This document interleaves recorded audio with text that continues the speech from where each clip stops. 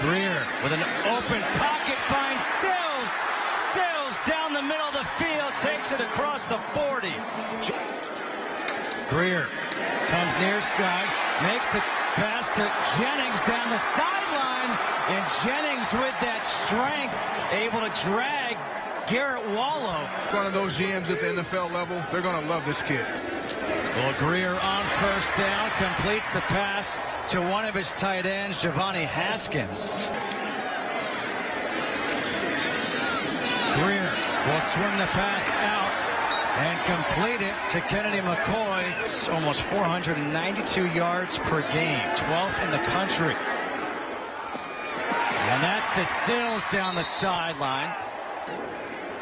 I mean, those two guys combine on a route. And they get it to Sills again.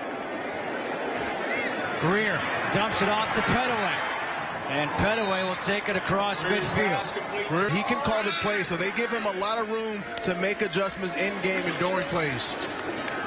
Grier, the pump fake, wide open, tight end, Wesco, touchdown, 32 yards. Big guy that can button press and get in between that quarterback's face. And how about this pass, the completion to Marcus Simms. Wow! On second and 10, pass over the middle, Wesco.